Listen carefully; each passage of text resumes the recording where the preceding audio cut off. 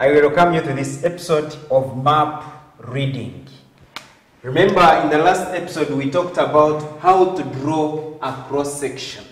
And we said that you join the two points in question, use a piece of paper or graph paper to demarcate the contours, and then after demarcating, transfer what you have demarcated to the graph paper, endeavor to put the horizontal distance, and then you get the scale. In this case, we used the vertical interval as the scale, and then write your title, and it must be showing where the cross section started from and where it is ending, and the different features that cross section is showing or presenting. Then we said that while showing those features, the arrows you put must touch the ground but not entering the ground. And then the cross section must be shaded. It must be shaded. And then you endeavor to put the scale. That is how we draw a cross section. Now, we are going to see how we can calculate the vertical exaggeration. Vertical exaggeration, especially asked after drawing the cross section, has a formula vertical scale divided by horizontal scale. The vertical scale is this one, the one we used on draw, while drawing the cross section. And then the horizontal scale is the other one that is in the northwestern part of the map extract, which is 1 to represent 50,000. This one is in centimeters. But the vertical scale, in this case, 1 centimeter representing 100 feet, is in feet. This one is in centimeters. And we cannot divide centimeters with feet. We cannot divide cows with goats. Which answers shall which answer shall we get? For that case, we should first change these ones to centimeters so that we get the same figures. So we are going to change the vertical scale. This is the horizontal scale.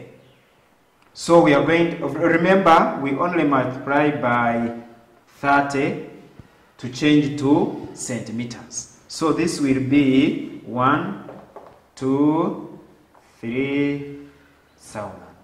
And this will now be centimeters, not feet. So they are all in the same units. And we are going to get 1, 2, 30, thousand, no, 3,000, not 30,000, divide by 1 to represent 50,000. This will be 1 out of 3, 0, 0, 0, divide by 1 out of 3, 5, 0, like this. And as usual, you put in some simple mathematics, it will be 1 out of 3,000 times 50,000 by 1. And this will be 5000 out of 3 like this. And then you divide and you get your answer. And the units should be times. We are together? Very good. That is how we get the vertical exaggeration, especially after drawing the cross section. You only need to get the formula as vertical scale divided by the horizontal scale. Never copy from your neighbor while in the examination room. Your neighbor may get 3.3 times as the answer. For you, you find you're having 4.3 times as the answer. You may all be correct. Why? you may be using different vertical scales.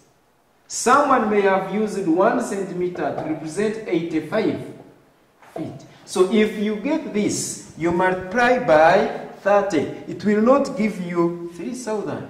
And the answer you have got, you divide by this, you are going to get a different answer. Meaning that the vertical exaggeration may differ from what your neighbor or what your friend has got.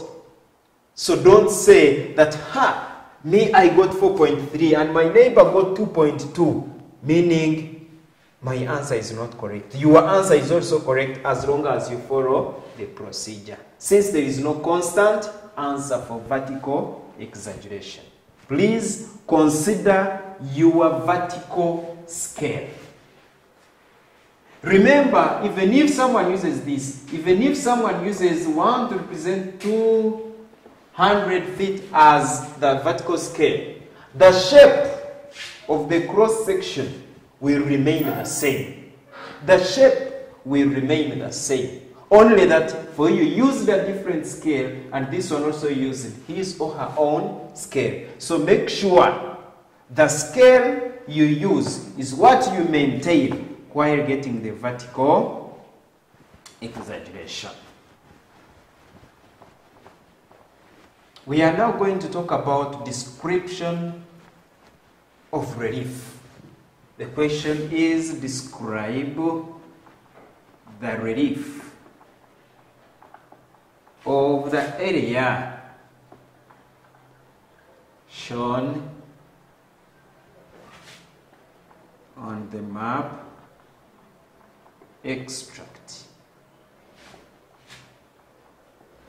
Do not describe the relief of the map extract, but describe the relief of the area that you are seeing on the map extract.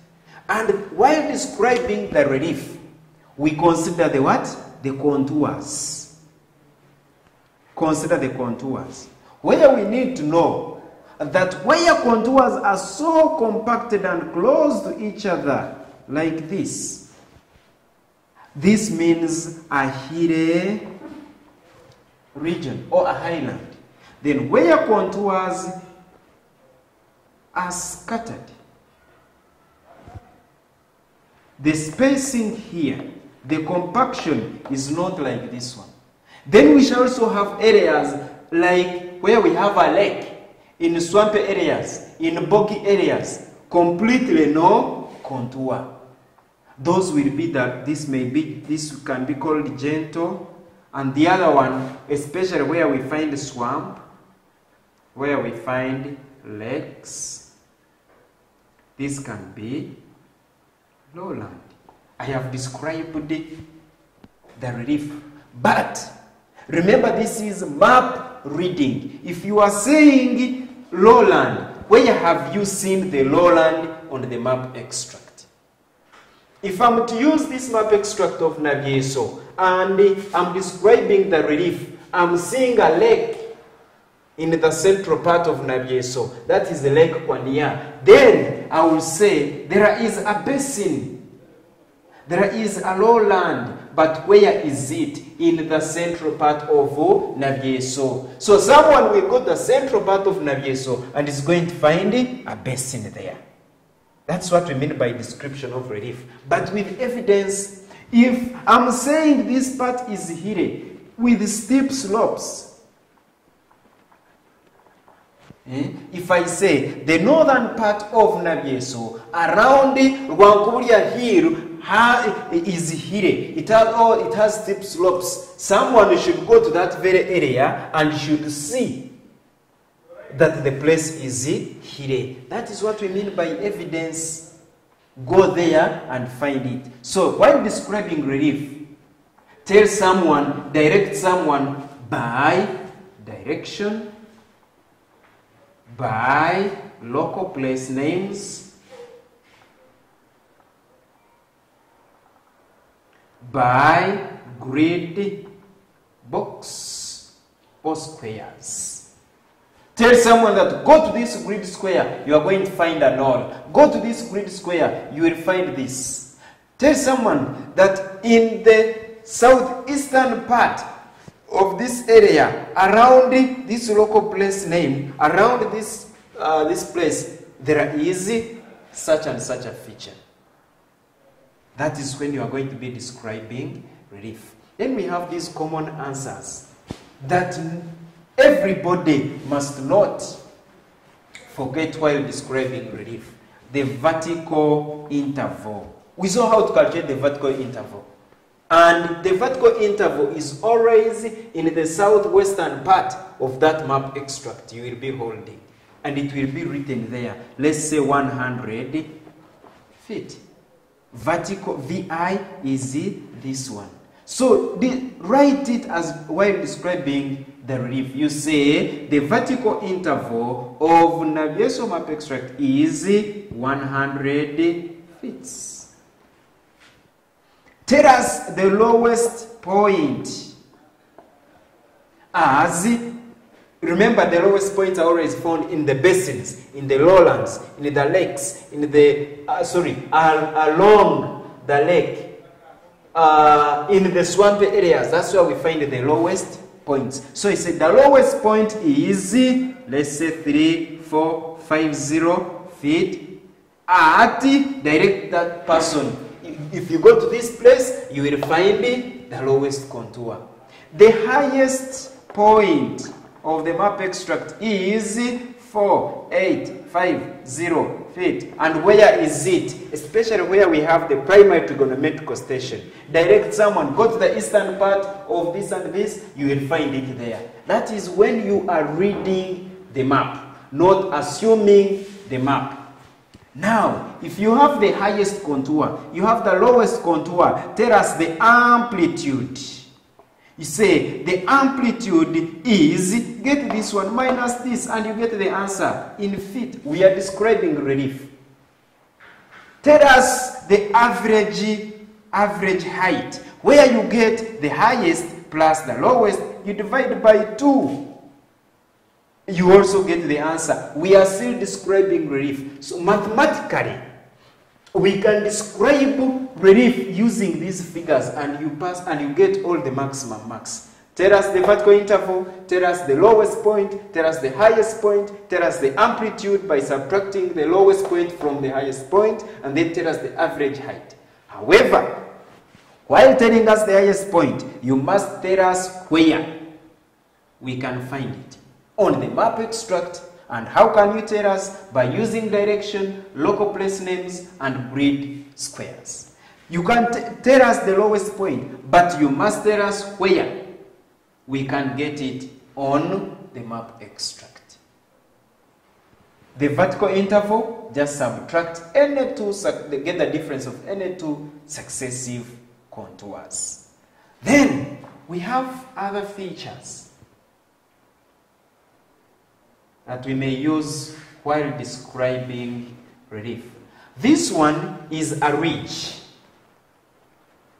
Where you find something like this, this is a hill, but on top it is a little bit flat. This is a ridge.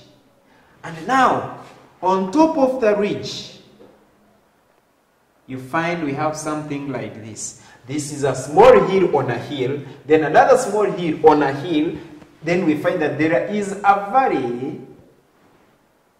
There is a valley, but on a hill. Because on the hill, this will be, this is a ridge, this is a hill. Then on the hill, we have another hill. The hill, we have another hill. This is what we are talking about. All this is a ridge made up of series of hills. But on top, we have one hill we have another hill. So this is a valley. But the valley on the hill, and that is what we col a saddle. So tell someone that there is a saddle on this grid reference. There is a saddle in the eastern part around this point. But when the space between the two hills is small, then we say there is a call. This one, the first one, the saddle, you can also col it U-shaped valley. Then this call, you can call it V-shaped valley.